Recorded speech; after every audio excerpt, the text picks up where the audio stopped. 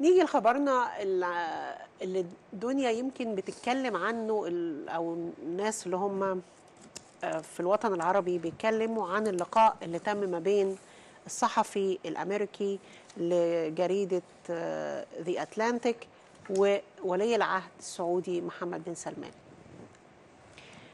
للأمانة أنا يعني مش مش يعني هو كبير جدا وما قدرتش أجيبه كله علشان يعني مش هينفع أقوله لحضراتكم كله أثناء الحلقة. بس اللي حابب أبعت له اللينك عربي أو إنجليزي أنا ممكن أبعته له. الحوار كان من صحفي جاي عارف كل الصغيرة قبل الكبيرة عن الشخص ده وعن المكان اللي رايح يعمل فيه الحوار. جاي يشوف ولي العهد اللي عنده 36 سنة واللي واخد دولته في حتة تانية خالص. هو شايف إن 36 سنة بالعقلية دي ممكن يكون في حد معاه. مستشارين حد مساعده لأن مش دول هم اللي كانوا موجودين قبل كده ومكملين مع الدولة. الدولة اتغيرت واتغيرت 180 درجة وإحنا كلنا شايفين وجبنا أخبار كتير منها. عايز يشوف هل الراجل اللي هيعمل معاه الحوار ده بعد ما يعمل الحوار هيطلع بنتيجة هل هو قاتل ولا مصلح؟ بيقول إنه آه، اخذ وقت مفروض إن اللقاء بتاعه كان الساعة 10 الصبح لكن مع الوقت اتعمل بعد نص الليل. في مكان هو مش كانش عارف هو فين على الخريطة. طيارات وعربيات وناس قاعدة وأمراء كتير مش عارف أساميهم آه، وده يمكن أول ظهور لل الأمير السعودي بعد آه، موضوع كورونا لأن هو ووالده كانوا قاعدين في حتة بعيد شوية علشان خاطر أو أسرتهم يعني علشان خاطر الاحترازات يعني بتاعت كورونا. قبل ما هقول لحضراتكم الحوار وإيه اللي دار فيه ويمكن جايبة لكم أهم الحاجات اللي اتقالت ومن الحاجات ومن وبرده أهم الحاجات اللي هتدينا مؤشر الناس دي هتفكر تعمل إيه الفترة اللي جاية وبرده من أهم الحاجات اللي تدي لغيرنا مؤشر إنهم لازم يفوقوا بقى فده برضو موجود في الحوار. نشوف الأول فيديو من 2018 لما راح الأول بأجندته للرئيس ترامب وقال له أنا هصلح. فنزلت الصحافة الأمريكية وعملت معاه الحوار ده وعايزة تشوفوا يومه شكله إيه. يوم محمد بن سلمان في مكتبه شكله إيه. نشوف الفيديو القديم ده ونرجع نقول آه إيه اللي حصل في الحوار مع ذا أتلانتيك. اتفضلوا. uh, in Oh, this is where you spend all night. mostly. So all all the uh, workaholic uh, minister Yeah. used to spend uh, most of their nights in this in this office. Uh huh. So I'm sorry if it's a little bit lousy. يعني ده اليوم بتاعه ودول الناس اللي معاه قبل ما نكمل كلامنا ناخد آه، آه، الأول مدام ايفون جاوبت على التليفون بشكرك حبيبتي الف شكر ومعانا ايفا hello ايفا hi سرسورة ازيك؟ ازيك hi. حبيبتي ازيك؟ يا حلوين. حبيبتي وانتي كمان؟ كل سنة وأنتم طيبين. وانتي طيبة. بالصحة والسلامة يا ماما. يا رب كده العالم يسود السلام والمحبة وال... آمين. وكل الحاجات السوداء دي آمين. تختفي. آمين. يا رب. إحنا ما صدقنا قلنا الكورونا قربت تعبانين من تمشي الأخبار خالص. أيوه صحيح صحيح. ربنا إحنا موجود. بقى نسيب الأخبار ونقعد نصلي. صحيح هو ربنا عايزنا برضو إن إحنا نلتجئ إليه في كل شيء يعني. آه خصوصاً قدسوا دي يعني. بالصلاة وال... آه مش بالأكل صحيح صحيح أكيد طب مش هعطلكوا حلوين يا هو اتفضلي. يوئيل آه، واحد أربعتاشر أشكرك. تمام أشكرك. ميرسي يا. إيفا شكرا طبعا حبيبي كل سنة ماشي. وأنتم طيبين وانتي طيبة مع حبيبتي. سلام bye. bye bye bye الحديث طيب إيلين جاوبت كمان على السؤال. مدام إيلين جاوبت في ال control room. بشكرك ألف شكر. نقول بقى ولا إيه؟ كملي بقى. طيب. آه نيجي بقى للحديث بتاعه. هو بيقول في الحديث بتاعه بيقول له يعني إني أتردد على البلاد منذ 2019 وفي كل مرة أصل فيها أرى تغييرا ومزيدا من الحداثة ومزيدا من التقدم. اننا نقترب من 2030 وقد أصبحت البلاد متشابهة لدبي ومتشابهة أيضا بصورة بسيطة لأمريكا. هل تعتقد أن السعودية ستتغير عن حالها وتصبح مثل بقية العالم؟ طبعا. السؤال ده شوية ضايقه لأن الإجابة اللي جاية هتبين كده. ولي العهد بيقول له إننا لن نحاول أن نكون مثل دبي أو أمريكا. لا نريد أن نقدم مشاريع منسوخة بل نريد أن نضيف شيئا جديدا للعالم مشاريع ذات طابع سعودي. وإذا أخذنا آه، نيوم على سبيل المثال وزلاين المدينة الرئيسية في نيوم فهي تمثل مشروعا فريدا من نوعه تم إنشاؤه وصولا بواسطة السعودية. إنه لا يعد مشروعا منسوخا من أي مشروع آخر موجود في أي منطقة في العالم. غير المشاريع الثقافية والرياضية والعقارية. وسأل المحاور قال له أعطيني مثالا على أن أحد المشاريع الموجودة منسوخة. لا يوجد هو جاوب على طول. يعني اديني مثال ما فيش؟ آه على طول.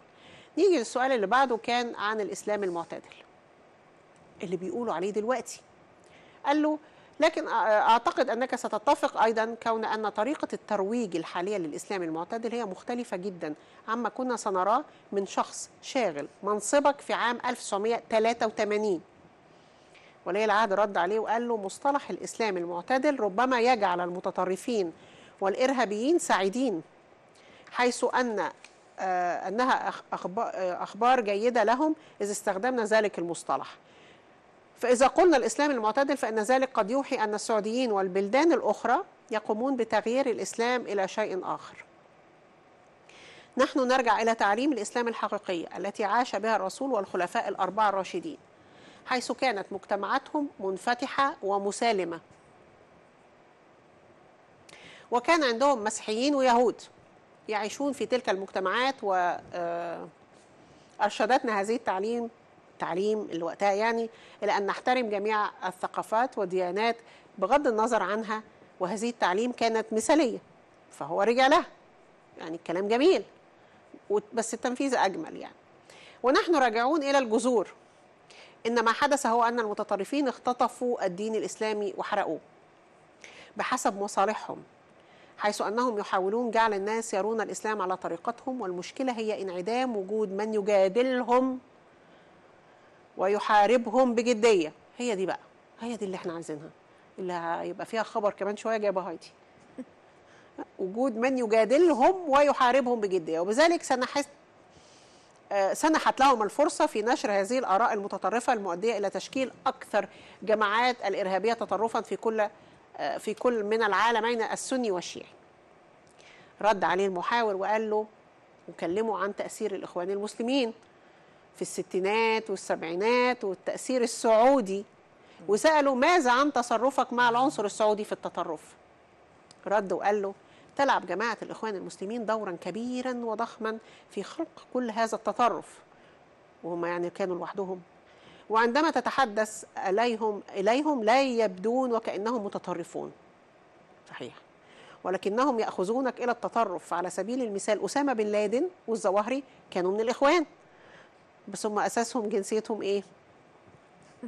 وقائد تنظيم داعش كان من الإخوان. وبرضه جنسيته إيه؟ ده أنا اللي بقول. ولذلك تعد جماعة الإخوان المسلمين عنصرا قويا في صنع التطرف إلى مدى العقود الم... على مدى العقود الماضية. رد بقى وقال له دي بقى خط تحت الحزام زي ما بيقولوا. ولكن الأمر لا يقتصر على جماعة الإخوان المسلمين فحسب بل خليط من الأمور والأحداث ليس فقط من العالم الإسلامي بل حتى من أمريكا التي يخ... آه، بخوضها حربا على العراق أعطت للمتطرفين فرصة سائح سانحة. أما فيما يخص بقى الشيخ محمد بن عبد الوهاب فهو كسائر الدعاة خدوا بالكم بقى من الكلام اللي هيتقال. والناس اللي ورا الوهابية و و نركز وحياتكم الله يخليكم كده شويتين. بيقول فهو كسائر الدعاة وليس رسولا. وكانت المشكلة في الجزيرة العربية آنذاك إحنا صورة ليه على فكرة. أن الناس الذين كانوا قادرين على القراءة أو الكتابة هم فقط طلاب محمد عبد الوهاب.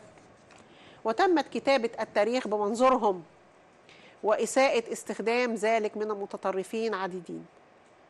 ولكني واثق لو أن خدوا بالكم بقى لو أن الشيخ محمد بن عبد الوهاب والشيخ عبد العزيز بن باز ومشايخ آخرين موجودين الآن فسيكونوا من أوائل الناس. المح... أيوة هو ده. المحاربين لهذه الجماعات المتطرفة الإرهابية. بيكمل ويقول الشيخ محمد عبد الوهاب ليس السعودية. لا يا راجل. لا هو إحنا كلنا كنا يعني مش شايفين لحد دلوقتي. يأتون إلينا بدين جديد. هو ليس السعودية فالسعودية لديها المذهب السني والشيعي. بيكمل ويقول فنحن نرجع إلى الأساس إلى الإسلام التقي النقي لخدمة الدولة والشعب والعالم أجمع والنمو الاقتصادي وهذا ما حصل في السنوات الخمس الأخيرة. اللي أنت بتعمله برافو عليك بصراحة يعني. إذا كنت هتعمل ده عقبالنا أجرنا بيسألوا المحاور بيقولوا لكن السعودية تستخدم عقوبة الإعدام. كلموا عن عقوبة الإعدام. وقطع اليد والحاجات دي. قال له لا عقوبة الإعدام آه، آه، تخلصنا منها جميعا ما عدا فئة واحدة مذكورة في القرآن واللي هي إذا كان حد قتل حد يعني عشان بس الحوار طويل. حد قتل حد. والحد ده بنسيبه ست شهور مثلا موافق ولا مش موافق إن إحنا نعدمه؟ ست شهور سنة يعني مش تاني يوم بيتم الإعدام. فبيقولوا إحنا خلصنا من الأمر ده. جه طبعا ولا يفوتكم أحبائي إنه يتكلم عن خاشقجي. سألوا كما تعلم تقول وكالة الأنباء آه، وكالة المخابرات الأمريكية أنك أمرت بقتل خاشقجي أو اعتقاله. ما هو ردك على هذا الاستنتاج؟ قال له من المؤلم رؤية أي شخص يقتل دون وجه حق. أن ما حدث يعد امرا مؤلما ونتمنى ألا يحدث لمواطن سعودي أو لأي مواطنين في العالم. كان يعني برضو الحوار طويل في ده آه، قال إنه آه، لو جابوا لي لستة فيها ألف واحد خاشقجي ده مش هيكون فيهم أساسا. يعني لو في ألف واحد لستة إنهم يموتوهم سعوديين أو غيرهم يعني خاشقجي مش هيكون فيه لأن أنا أساسا ما قريتلوش ولا مقالة قبل كده. ومش هو ده اللي هيهزه يعني. وقال إن الأمريكيين أخطأوا في العراق وأفغانستان وجوانتنامو فأنتم اتخذتم الخطوات الصحيحة وكذلك فعلنا نحن. يعني إذا كنتوا عاقبتوا الناس دول إحنا كمان عاقبنا الناس اللي عندنا. سجناهم ووقعنا عليهم عقوبات. ما جابش طبعا سيرة الخبر اللي جبته لكم من كام حلقة فاتوا إنهم قاعدين في فنادق سبع نجوم. تمام. محدش عارف الكلام ده. يرجع ويسأله المحاور تاني لكنك تقول أن لا علاقة لك بهذا الأمر. ولي العهد قال له لماذا أقوم بذلك؟ أنه أمر واضح. ليه أعمل ده؟ أنا مش محتاج لي أنه يعمل ده يعني. وإنه اتكلم في الموضوع ده قبل كده. بيسألوا ول- بيكمل ولي العهد قطعا لقد ألمتني كثيرا وألمت السعودية من ناحية المشاعر. رد عليه المحاور قال له المشاعر؟ يعني برضو المحاور يعني حويط يعني. قال له لقد لامونا آه، وأتفهم غضبهم وأتقبل مشاعرهم ولكن نحن أيضا لدينا مشاعر وألم. ولكن السؤال الأكبر بالنسبة لي هو ده بقى رجع السؤال لقد قتل سبعون صحفيا تقريبا حول العالم تلك السنة. هل يمكنك أن تسميهم لي؟ رجع السؤال للمحاور. بيقول له في سبعين صحفي اتقتلوا. حضرتك فاكرهم؟ هل أنت جاي تتكلم عن واحد سعودي ولا جاي تتكلم عن صحفي؟ أنت يعني بما إنك صحفي برضه. قال له بما إنك مش عارف صحيح يعني هو بيقول له هل يمكنك أن تسميهم لي؟ لا. اذا شكرا جزيلا. هو جاوب وسأل وكل حاجة. اتكلم كمان إن آه، يعني ال- الصحفي قال له أضرت عملية قتل خاشقجي المهمة دي بقى وخلي بالنا لأن برضو التون عالي على أمريكا. أضرت عملية قتل خاشقجي بالعلاقات مع الولايات المتحدة. هل تريد أن يعرف عنك جو بايدن شيئا قد لا يعرفه عنك؟ ولي العهد بيقول له ببساطة يعني سؤال. المحاور قال له نعم. رد عليه وقال له أن هذا لا يهمني. I don't care يعني ما معناه. سامعني يا بايدن؟ إحنا اتفضحنا كده. المهم المحاور قال له ماذا تقصد؟ ولي العهد رد وقال له أن هذا ما هو مش متوقع يعني أن هذا الأمر يعود إليه إليه ده بايدن. ومتروك له برضه بايدن للتفكير في مصالح أمريكا. فليفعل ذلك اذا يفكر بقى إذا كان مصلحته مع مين. رد عليه وقال له ما هي المصالح الأمريكية في المملكة العربية والسعودية؟ ولي العهد رد أنا لست امريكيا. لذا لا أعرف إذا كان لدي الحق في الحديث عن المصالح الأمريكية أم لا. ولكني أعتقد أن أي دولة في العالم لديها مصالح أساسية اقتصادية سياسية أمنية. هذا هو الأساس الرئيسي الذي تقوم عليه السياسة الخارجية لأي دولة. السعودية عضو في مجموعة العشرين بيعايروا بقى. بإمكانك رؤية ترتيبنا قبل خمس سنين كنا قريبين من المرتبه العشرين. أما اليوم فنحن على وشك الوصول للمرتبة السبعه عشر بين دو- دول مجموعة العشرين. ونطمح للوصول إلى مرتبة أعلى من مرتبة الخمستاشر بحلول عشرين تلاتين. كل ده ده طبعا إن شاء الله هيحصل. مع ده واللي معاه هيحصل. وهذا بالتأكيد يضعنا, يضعنا بين أسرع الدول نموا في العالم. وفي العام المقبل سينمو الاقتصاد بأكمله بنسبة تقارب 7% السعودية ليست دولة صغيرة. فهي من ضمن دول مجموعة العشرين وأسرع البلدان نموا. مما يدفعنا إلى التساؤل أين تكمن الإمكانيات العالمية؟ إنها في المملكة العربية السعودية. هو بيجاوب برضه. وإذا أردت تق- تقويتها فهناك أشخاص آخرون في الشرق سيكونون سعداء للغاية. سامعني أنت؟ يعني سامع؟ الصين قاعدة ومستعدة. وهو علاقته بيها طيبة جدا على فكرة. فبيقول لك لو أنت ما عملتش ده معايا أو ما كنتش كويس معايا في ناس تانية مستنية. ده رد عليه. الصين بيسألوا عن الصين. هل آه، لو أمكنك العودة إلى موضوع الصين يعني لأنه كان سألوا عليها قبل كده. هل أنت هل أنت مرتاح للتعاون مع الصين؟ قال إن السعودية واحدة من أسرع البلدان نموا في العالم وستصبح قريبا جدا البلد الأسرع نموا في العالم كله. لدينا اثنان من أكبر عشر صناديق في العالم. والمملكة تمتلك واحدة من أكبر الاحتياطات بالعملة الأجنبية في العالم. شايفين الرقم؟ ما بيتكلمش على الخليج ولا العرب بقى ده بيتكلم على العالم كله. السعودية لديها القدرة على تلبية 12% من الطلب على البترول في العالم. السعودية تقع بين ثلاثة مضائق بحرية السويس باب المندب مضيق هرمز وتطل على البحر الأحمر ويمر من خلالها 27% تقريبا من التجارة العالمية. إجمالي الاستثمارات في السعودية السعودية في أمريكا 800 مليار. في الصين ما يقرب من 100 مليار دولار. ولكن يبدو أننا أنها تنمو هناك بسرعة. يعني هتنمو هناك بسرعة.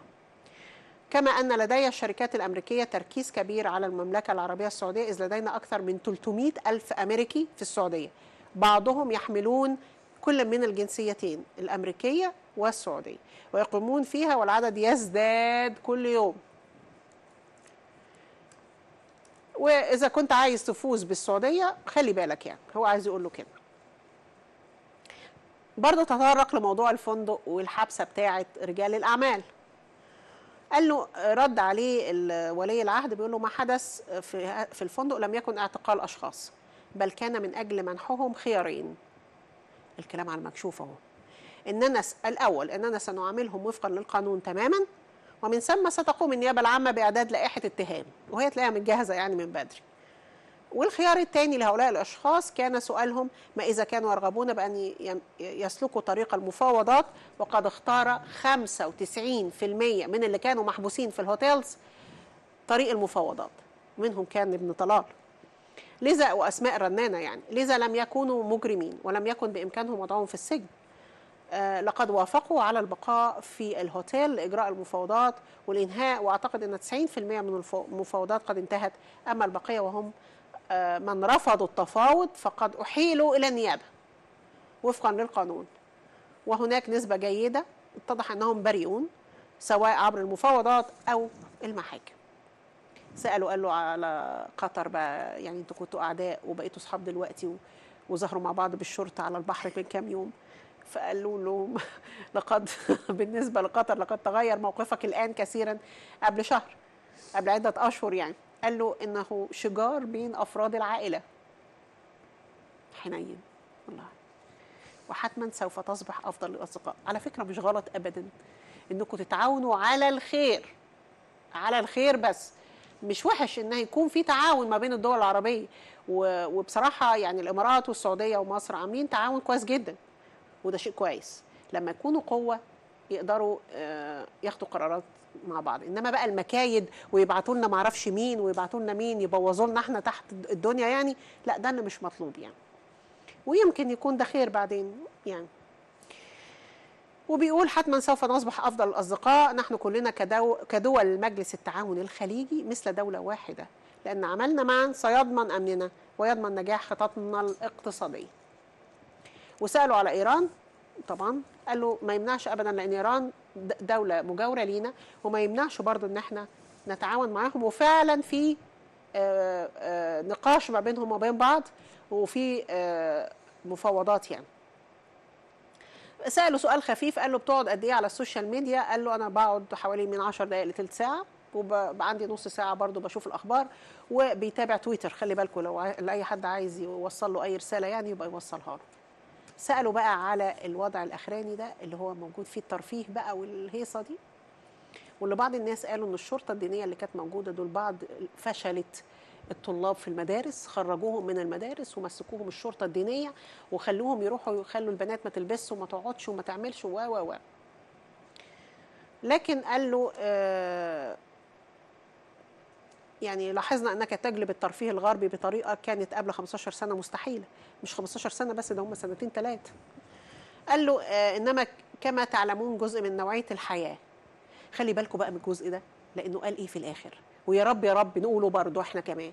ولذلك حينما نحاول إقناع المواهب بالمجيء إلى هنا ونحاول إبقاء المواهب السعودية في السعودية نفسها وإبقاء المستثمرين السعوديين في السعودية وإقناع المستثمرين الأجانب ونحاول الوصول إلى هدف 100 مليون سايح بحلول 2030 حيث ارتفع عد- العدد من حوالي 6 ملايين في عام 16 إلى 17 ونص في عام 19 بس. فيجب علينا أن نوفر لهم جميع البنية التحتية فعلى المرء أن يجلب أفضل ما هو الموجود ليتأكد من أن يصل إلى هذا الهدف السياحي. ما هو طبعا هتجيب سياحة هتقول له لا ممنوع خمرة ممنوع مايو ممنوع ممنوع. لا طبعا. يشربوا زي ما هم عايزين يلبسوا زي ما هم عايزين المهم فلوسهم تيجي. إذ يجب أن نعمل على هذه الأهداف جميعا لتحقيق ما يعادل 10% إلى 15% من الناتج المحلي الإجمالي للسعودية في 2030 بيسألوا بقى هل يعترض القادة الدينيون على الموسيقى؟ هو ده بقى الأهم. نعم يفعلون ذلك. هو بن سلمان بيرد ويجادلون ونحن نجادلهم بدورنا. ومرة أخرى نرجع إلى التعاليم الإسلامية وبالتالي تعد الموسيقى أمرا ذو خلاف في الإسلام. وليست أمرا متفق عليه في الإسلام. أهو بصوا أهو ده في خلاف مش متفقين. طالما مختلفين يبقى كلام مين اللي يمشي؟ الأقوى. الكبير. ده وإذا كان متفقا عليه عند المسلمين فلدينا أمور في تعليم الرسول تقول تقول نخلي بالنا بقى الضرورات تبيح المحظورات. يا سلام. يا سلام. كله خلينا لنا شعارنا الشعار ده.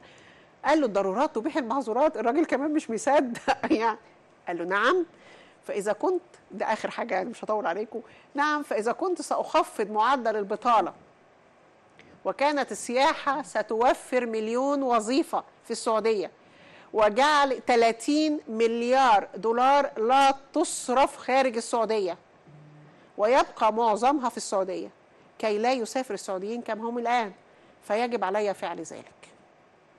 ولذلك لدينا أمر ثالث نقوله اختار الضرر الأصغر بدلا من الضرر الأكبر. أنا هختم الفقرة دي بالضرورات تبيح المحظورات. ومن له أذنان للسمع فليسمع. على فكرة ده يمكن ما يجيش نص الحوار. اسمعوه واقروه أو يعني اقروا الحوار سواء عربي أو إنجليزي. آه بيبين لك الراجل ده رايح فين وهيعمل إيه. وقلب كل الدنيا علشان السعودية دي تطلع لفوق. والتهديد جاي لأمريكا دلوقتي. سمعاني هناك؟ يعني هو الخسران هو اللي بيقول كده. يلا ربنا معاهم آه شيرين آه فكرك كان هيقدر يتكلم كده على بايدن لو كان ترامب؟ ولا هو واخد حتى آه. سياسة ترامب إن هو عمال هو يتصالح اتعلم مع منه كتير. قوي اتعلم قوي. قوي. مش غلط مش غلط يكون في سياسة ما هي هي, سياسة هي دي السياسة السياسة مش طبعاً. طبعا يعني إنما آه. اللي بنقوله ده هبهبه هنا اولا. بلدي اولا. زي ما ترامب كان بيعمل. بلدي اولا خليني إحنا نرفع بلدنا الأول ده اللي كان بيعمله. ترامب على. فكرة وروسيا بتعمل كده دلوقتي كله بيعمل كله كده بيعمل والصين آه